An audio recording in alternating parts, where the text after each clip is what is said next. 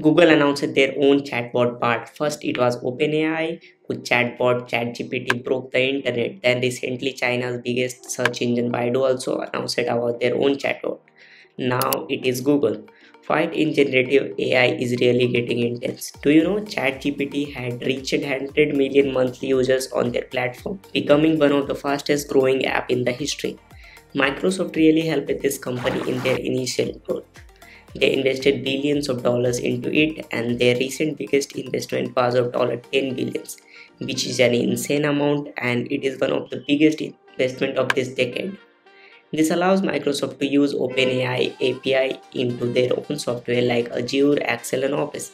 But it is not just their software. Their biggest plan is to revive their slowly dying search engine Bing by integrating ChatGPT into it. And this time Microsoft really got the chance. If their plan goes accordingly, there is high chance that many people will shift from Google to Bing.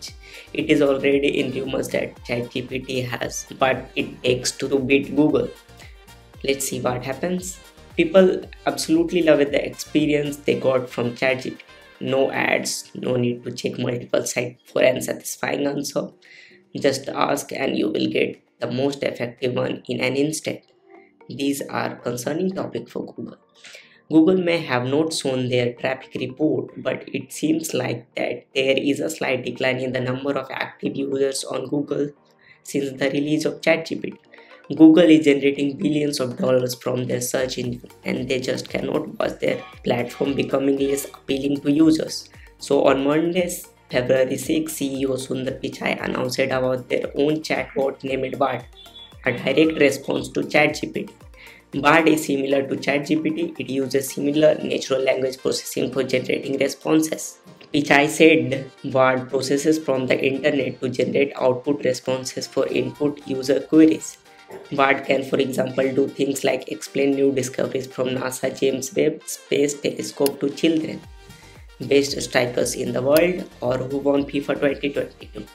We know ChatGPT is limited to the information of till 2020 means it cannot give you details about the most recent activities like FIFA 2020.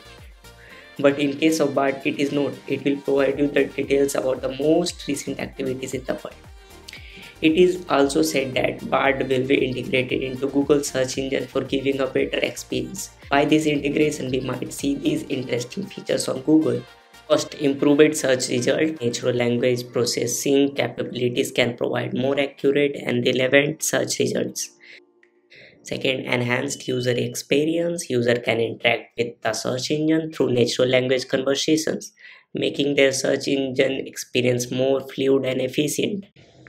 Third, increased user engagement means it can provide additional informations, answer follow-up questions, and make recommendation potentially keeping user engaged with the search engine. Find what they are looking for more quickly reducing frustration and increasing satisfaction.